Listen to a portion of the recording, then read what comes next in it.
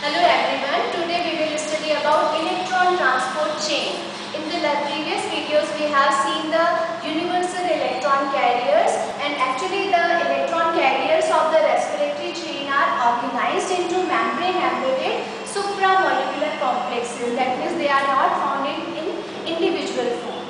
Electron carriers always function in multi-enzyme complexes. So all the universal electron complexes actually uh, complex in this multi-enzyme complexes and mainly four enzyme complexes are proteins are formed and these are complex 1 that is also known as NADH dehydrogenase complex.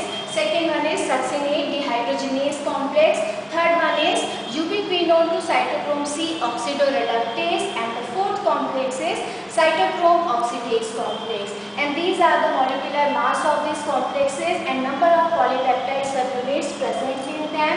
And in case of complex 1 prosthetic groups are FMN and I6 iron sulfur proteins. Then in case of second uh, succinate dehydrogenase complex the prosthetic groups are FAD and iron sulfur proteins. In complex 3 prosthetic groups are hemes and iron sulfur protein. And in complex 4 Again, uh, the prosthetic groups are hemes and copper ion A and B. Apart from these four complexes, one more electron carrier that is cytochrome C is there in which uh, heme act as a prosthetic group. Actually, this cytochrome C is not part of any complex. It moves between complex 3 and 4 as I already uh, told you in my previous video. Okay, it remains as a soluble protein.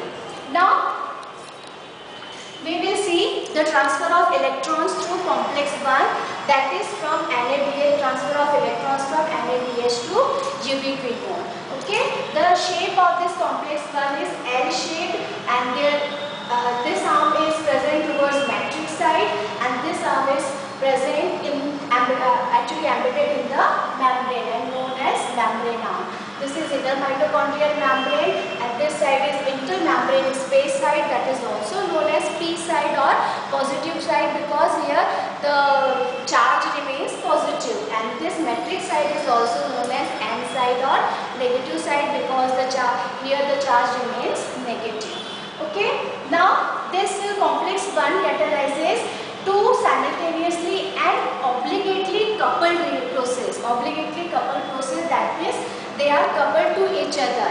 Okay. The first one reaction is the exergonic transfer to ubiquinone of a hydride ion from NADH and the proton from matrix. See here NADH transfer hydride ion and the proton from matrix uh, uh, uh, matrix and there is oxidation of NADH to NAD plus and ubiquinone. See here ubiquinone reduced to ubiquinol.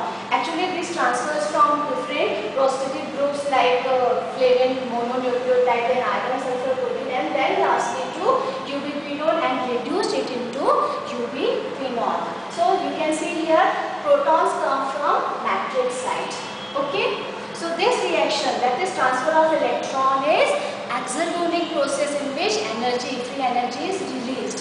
Now the second reaction that is coupled to this exergonic reaction is endergonic transfer of protons from the matrix to the intermembrane space. During this exergonic process, four protons are pumped from matrix region to intermembrane space region. That's why this intermembrane space region becomes more positive. Okay. So these two reactions are coupled. That means this complex 1 acts as a proton pump and uh, it, it acts as a proton pump and that proton pump is driven by energy of electron transfer. Okay, now this ubiquinol which is uh, reduced from electron acceptance, ubiquinol now this diffuses in the inner mitochondrial membrane from complex 1 to 2 and oxidized to ubiquinol in a process that involve the outer uh, movement of protons. Okay. Now, so this is all about the transfer of electrons from complex 1. Now, the complex 2 that is transfer of electrons from succinate to ubiquinol. As I, I have already told you, this is also known as succinate dehydrogenase complex. And it is the only membrane-bound enzyme uh, in TCA pathway.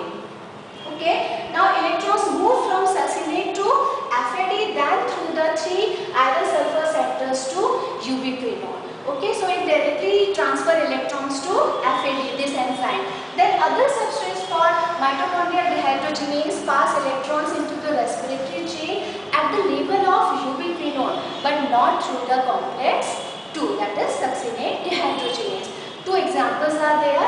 First one is in beta oxidation of fatty acyl CoA which is catalyzed by acyl CoA dehydrogenase transfer electron from substrate to FAD of the dehydrogenase and then passes it uh, electron to ubiquinone oxidoreductase and this enzyme transfer electrons into respiratory chain by reducing ubiquinone.